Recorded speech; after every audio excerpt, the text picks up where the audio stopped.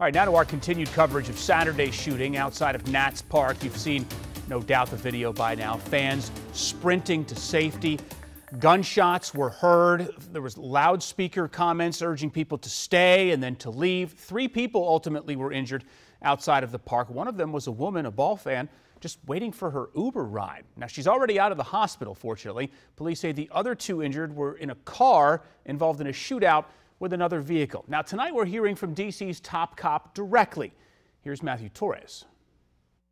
The police chief tells me the three people shot have already been released from the hospital. As the investigation continues into what happened, he admits more could be done to combat gun violence in our city.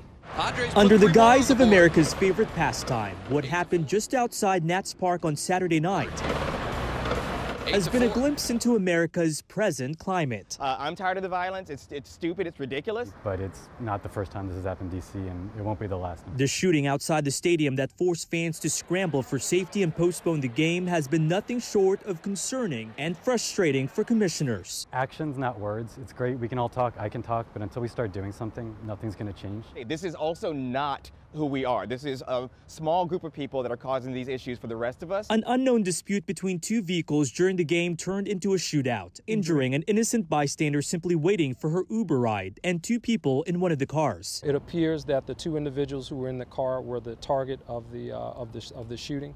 Uh, they have not been placed under arrest, but the investigation is ongoing. Police saying the two have been known to police in the past. Chief Robert Contee telling WUSA 9 the city needs a more comprehensive approach in how criminals, especially repeat offenders, are held accountable. We can reform police, that's great.